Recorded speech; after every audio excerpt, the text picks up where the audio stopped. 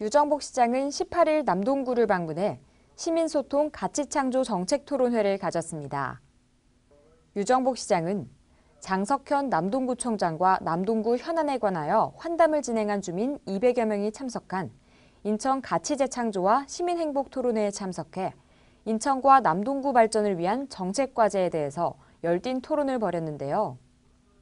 토론회 형식으로 진행된 이번 연두 방문은 인천만의 가치를 재창조해 시정 발전의 원동력을 삼는다는 취지를 반영한 것으로 사전에 시민들의 의견을 수렴해 선정한 남동구 의제를 가지고 토론을 벌여 쌍방향 소통 행정의 전범을 보여줬을 뿐만 아니라 그간 형식적으로 진행됐던 연두 방문의 한계를 극복했다는 평을 받았습니다.